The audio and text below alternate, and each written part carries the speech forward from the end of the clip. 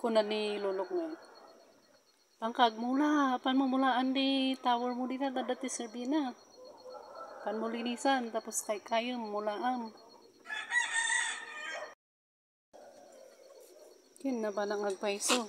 Ki niro utak tapos kinaykay ko sakto minulaan ti minulaak ti radish tapadasak man day ti radish ta ni chanchali sandak ni lulok nga. Pangkagula ko so minulaak day ti, ti radish tap na bukol. Ket ni lulok day ti radish eh.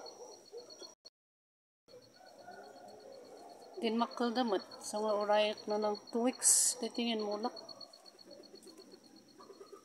Sapay kumatag bagas na gito